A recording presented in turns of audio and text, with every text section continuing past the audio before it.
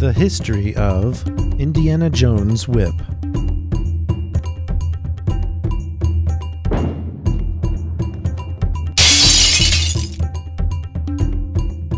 Indiana Jones managed to get in and out of some epic adventures.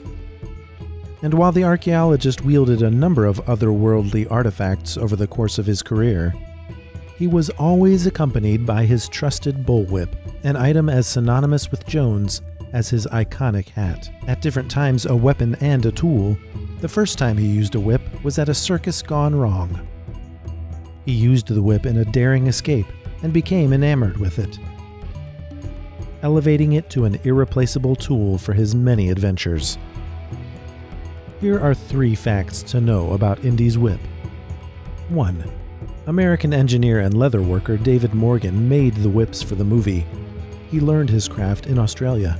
2. Over 30 whips have been used in production of Indiana Jones films, ranging from 6 to 16 feet. 3. If you know what you're doing and have the proper gear, it is actually possible to use a whip to swing across ledges.